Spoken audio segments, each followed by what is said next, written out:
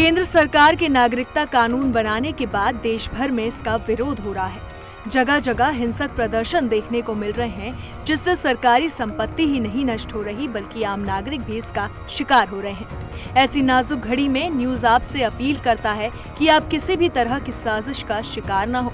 किसी की भी बातों पर आँख बंद करके विश्वास न करें। साथ ही सोशल मीडिया पर फैल रही अफवाहों पर ध्यान न दें और न ही उसे आगे बढ़ाएँ। अगर आप विरोध करना भी चाहते हैं तो शांतिपूर्ण तरीके से विरोध करें और इंसानियत दिखाएँ।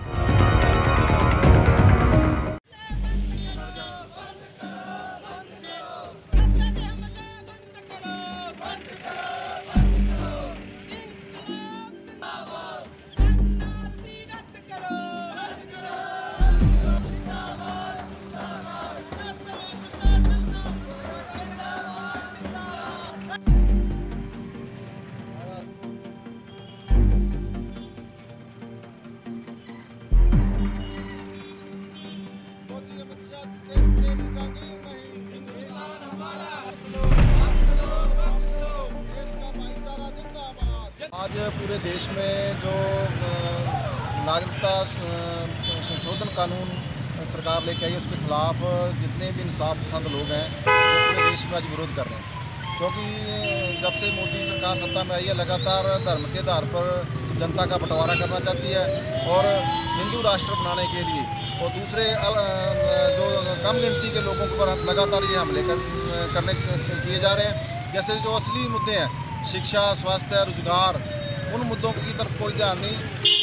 कई बार पिछली बार देखा कि नोटबंदी की नोटबंदी की गई, उसमें क्या गया कि देश का देश काला धन है जो बाहर निकल आएगा, मगर वो, उसका नुकसान हमारे देश के जनता को उठाना पड़ा।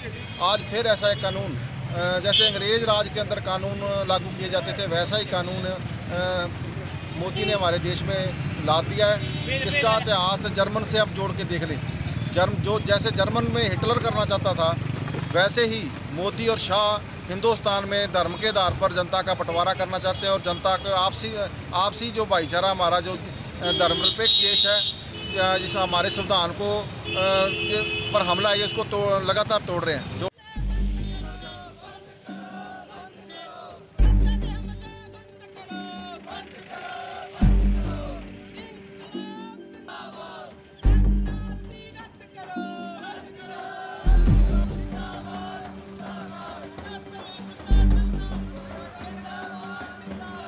Bye.